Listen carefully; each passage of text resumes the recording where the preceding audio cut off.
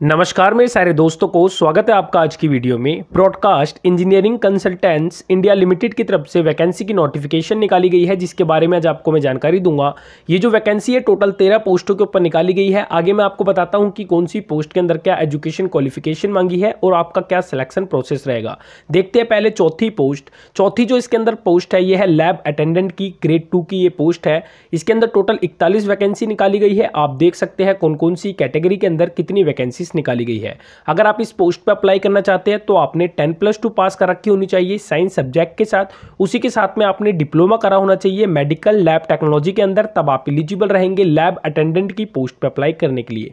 Age limit की बात करें तो अट्ठारह से सत्ताईस साल तक के कैंडिडेट इस पोस्ट पर अप्लाई कर सकेंगे, और साथ ही में इसके अंदर एज इलेक्शन भी दिया गया है। पे स्केल की बात करें तो इसके अंदर आपका जो पे स्केल रहेगा, वो सत्रह हज़ार से तीन सौ तीन रुपए तक का आपका इसके अंदर पे स्केल रहेगा। बात करते हैं अगली पोस्ट के बारे में तो अगली जो इसके अंदर पोस्ट है, वो है लैब टेक्नीशियन की टोटल एक वैकेंसी इस पोस्ट के ऊपर निकाली गई है, जो कि अनरिजर्व कैटेगरी के लिए है। अगर आप इस पोस्ट पर अप्लाई करना चाहते हैं तो आपने टेन प्लस टू पास कर रखी होनी चाहिए? साइंस सब्जेक्ट के साथ, उसी के साथ में आपने डिप्लोमा करा होना चाहिए मेडिकल लैब टेक्नोलॉजी के अंदर। तब आप इलिजिबल रहेंगे इस पोस्ट पर अप्लाई करने के लिए।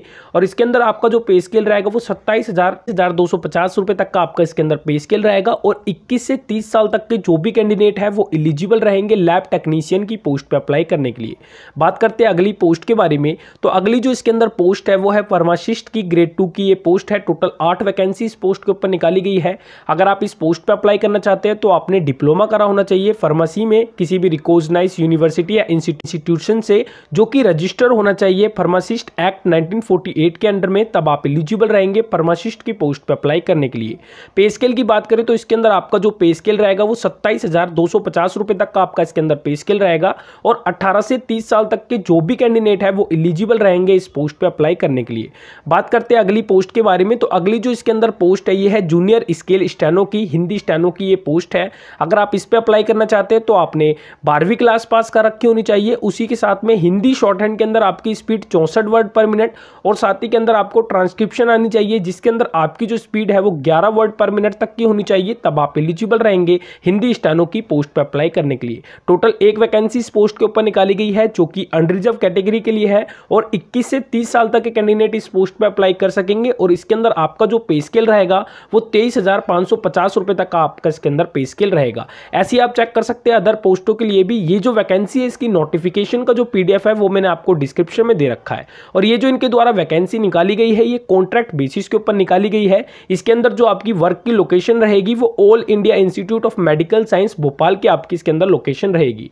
आगे बात करते हैं आपके सिलेक्शन प्रोसेस के बारे में तो इसके अंदर आपका जो सिलेक्शन होगा उसके अंदर आपका कंप्यूटर बेस्ड टेस्ट लिया जाएगा फ़र्स्ट जिसके अंदर आपका जो सिलेबस रहेगा English language Hindi language math logical reasoning GK GA यहाँ से आपसे क्वेश्चन पुटअप किए जाएँगे। टोटल आपसे 90 क्वेश्चन पुटअप किए जाएँगे, जो कि एमसीक्यू टाइप होंगे।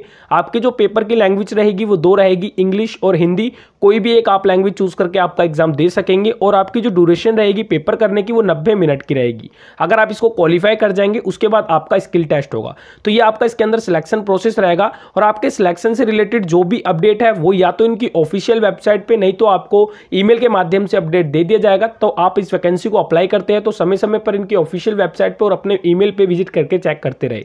आगे बात करते हैं एप्लीकेशन फ़ीस के तो भी कैंडिडेट अनरिजर्व और ओबीसी कैटेगरी के अंदर आते हैं, उनको आठ सौ रुपए एप्लीकेशन फ़ीस की पेमेंट करनी होगी। और जो candidate S C S T PWD या ईडब्ल्यू कैटेगरी के अंदर आते हैं, उनको छह सौ एप्लीकेशन फ़ीस की पेमेंट करनी होगी। और साथ ही में उनको जो बैंक चार्ज लगते हैं, उसकी पेमेंट करनी होगी। तो आपको जो ये एप्लीकेशन फ़ीस की पेमेंट करनी है, ये आपको ऑनलाइन करनी है, जब आप इस वैकेंसी को अप्लाई करेंगे तब। आगे बात करते हैं, इस वैकेंसी को अप्लाई कैसे करना है? इस वैकेंसी को आपको ऑनलाइन अप्लाई करना है। ऑनलाइन अप्लाई करने के लिए जो लिंक है, वो मैंने आपको डिस्क्रिप्शन में दे रखा है। सिंपली आपको डिस्क्रिप्शन में जाके इनकी ऑफिशियल वेबसाइट पर विज़िट करना है विज़िट करना है। फ़र्स्ट आपको आपके ईमेल या फ़ोन नंबर के माध्यम से रजिस्ट्रेशन करना है एंड देन आपको लॉगिन करके इस वैकेंसी को ऑनलाइन अप्लाई करना है। और इस वैकेंसी को ऑनलाइन अप्लाई करने की जो लास्ट डेट है, वो है 22 फरवरी 2021 की। तो आपको 22 फरवरी 2021 से पहले पहले इस वैकेंसी को ऑनलाइन अप्लाई करना है। अगर आप एलिजिबल है इस वैकेंसी को अप्लाई करने के लिए तो उससे पहले एक बार आप इसकी नोटिफिकेशन को अच्छे से रीड कर ले। नोटिफिकेशन का जो लिंक है, वो मैंने आपको डिस्क्रिप्शन में दे रखा है। और अगर आपका इस वैकेंसी से रिलेटेड कोई भी क्वेश्चन या डाउट है तो आप मुझसे नीचे कमेंट में पूछ सकते हैं। और ऐसे ही गवर्नमेंट और प्राइवेट जॉब्स की डिटेल टाइम टू टाइम जानने के लिए इस चैनल को सब्सक्राइब करें। Thank you so much